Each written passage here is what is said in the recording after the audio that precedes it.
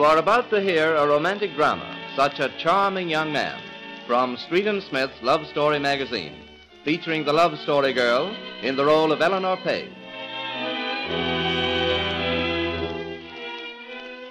Yes, this is the love story of Eleanor Page, secretary to that immensely wealthy widow, Mrs. Alonzo P. Winters. We find Eleanor and Millie, who is the downstairs maid, in Mrs. Winters' spacious library.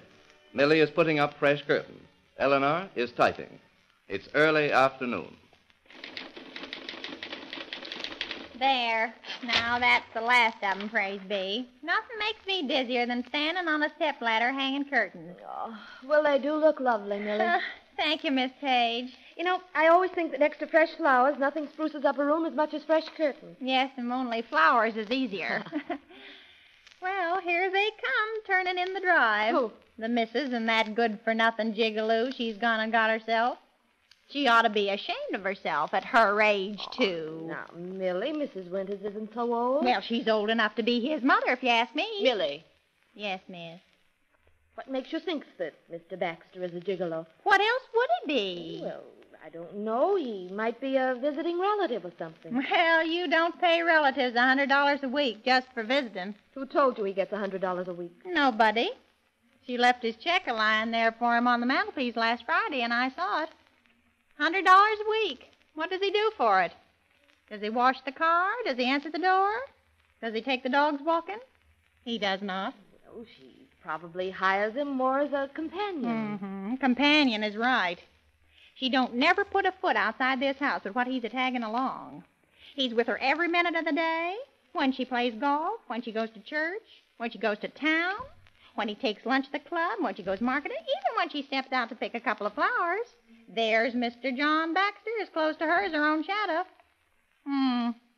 Wonder what she does with 'em nights. Millie. Oh, you needn't look so shocked. It's the talk of the town. The butler over at Peabody's was just telling Cook that night before last. Millie, I'm not going to listen to any more backstairs gossip about anything connected with Mrs. Winters. Well, if you ask me, you're kind of stuck on him yourself. Certainly not. It's not that I blame you much. He's not bad looking. But don't let Mrs. Winters catch you at it. Not if you want to keep your job. Millie, don't you think you'd better take that ladder away? You've quite finished in here. Oh, well. Very well. If that's the way you're going to take a little bit of friendly advice, I'm going. And I'm taking my ladder with me, never fear. Gigolo. I, I don't believe a word of it. Still, she does pay him a hundred a week. And he's always with her. Oh, what the heck? It's no concern of mine. Drat it. How do you spell metabolism? Now, wait a minute. M E T A B. No. What is it, an A and or no? Need any help? Oh, how do you spell. Oh, it's you. John Baxter, Esquire, at your service.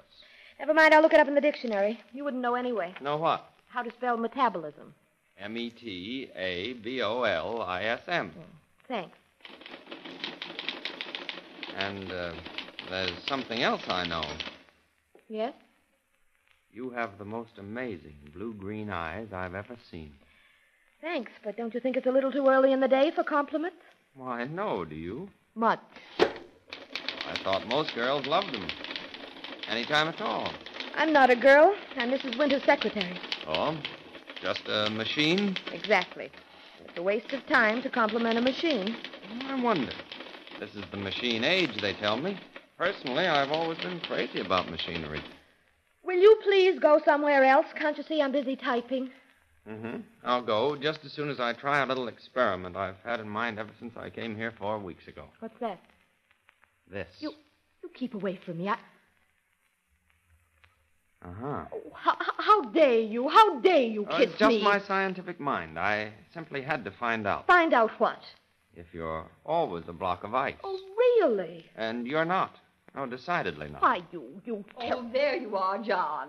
I've been looking all over for you. Uh, yes, Mrs. Winters? I promised Mr. Lenz down at the mill I'd bring him those papers this afternoon, but I have such a wretched headache. I... Well, why not let me take them for you, Mrs. Winters? Would you, my dear? I'd appreciate it. Why, of course I would. Good. John can drive you. The air will do you both good. Right, I'll go get the car. But, Mrs. Winters, I'm quite capable of driving myself. It's not necessary for Mr. Oh, Baxter fiddlesticks. I won't need him. I'm going to take a nap. A little young companionship will do you good, Eleanor, and John is such an attractive young man, don't you think? Well, I really haven't had time to notice. Uh-huh. you young people always so unobservant. Now, before you get to the factory, you might tell him to wipe your lipstick off his chin.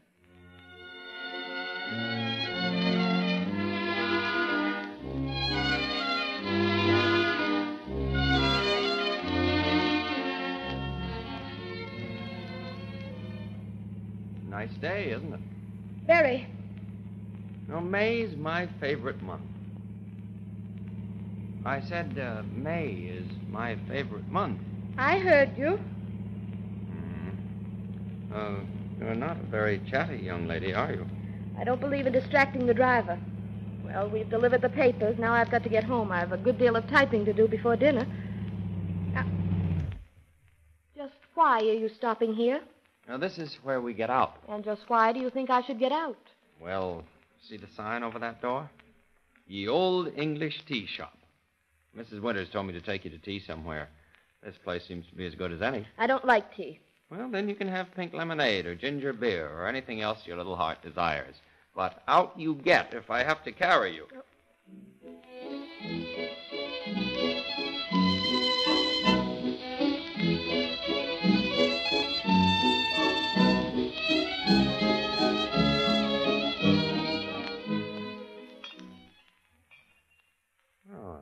so bad. Two cups of tea and three slices of toast with jam. Not bad at all for a young lady with a firm prejudice against the old English custom of drinking tea.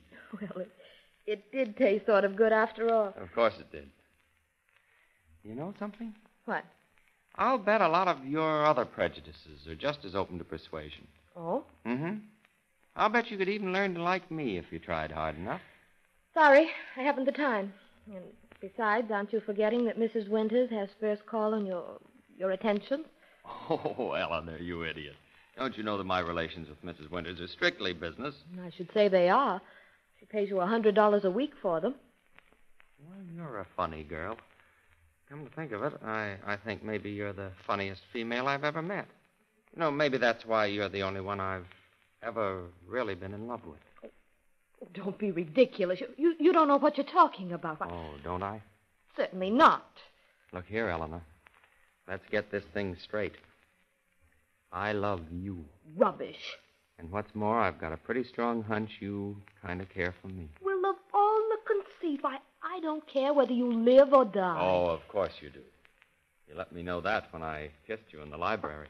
I did no such thing. Mm-hmm. I'd swear I was right.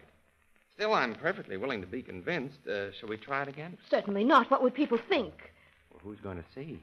These high back benches make a very good screen. Don't you come an inch nearer. It's getting late. I'm going out to the car. No, no, no, you're not. Not until I've proved my point. Eleanor. Well, there you are, you see. I hate you. I always will. You want to make any bets You, that? you get out of my way.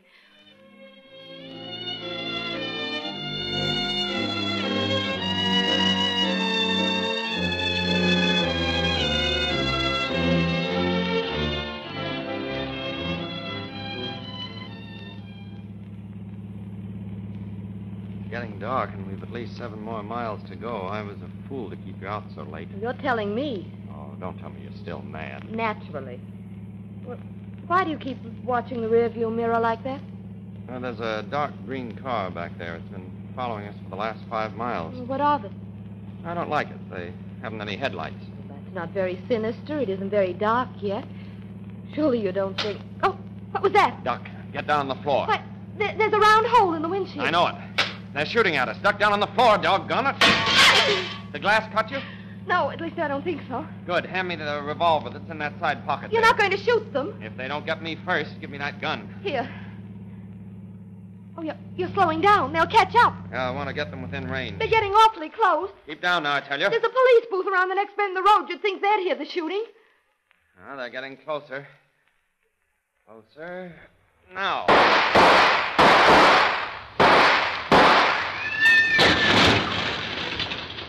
You, you got them. Their car smashed into the telegraph post. Oh, oh, John, it was horrible. Easy. Take it easy. It's all right now. Here come the police. Oh, thank heaven. Hey, you, what do you think you're doing? Oh, hello, Baxter. I didn't recognize you at first. Hey, what's going on here? It's the Carfetti gang, the one that's been threatening Mrs. Winters. Oh, I see. And they mistook this young lady for her and tried to pull off the snatch, huh? Snatch? He means kidnapping. Lucky for you, miss, you're keeping company with one of the best little old pistol shots in the country, or you wouldn't be here now. Oh, John. Well, I'll be moseying along, helping the rest of the boys to unwrap that telephone post. John, then you you were really Mrs. Winter's bodyguard all along. Well, yes, in a way. Although it's not my regular profession, I just signed on for the duration of the war, as you might say. You see, my old man's a great friend of the commissioner's, and when I found they needed a good shot to protect Mrs. Winters, well, I was only too happy to oblige. Oh, and to think that I suspected you of being a gigolo. Oh, well, that wasn't entirely your fault. They thought it would be a good idea to spread that rumor so the gang wouldn't be scared off. I must say I wasn't too keen about that angle of the case, but, well, it did have its compensations, meaning a certain young lady named Eleanor. Oh, John, you were wonderful, but you've got to promise me you won't let that thing get to be a habit. What, you mean kissing you? No, that is, I mean this gang busting business. Oh, that. Yes, that. Why, John, darling, you you might have been killed.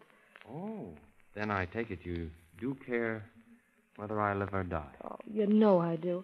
and you don't hate me anymore. I never did, not really. And you wouldn't object too strenuously if I said I wanted to kiss you again? I'd hate you if you ever stopped wanting to. That's all I wanted to know.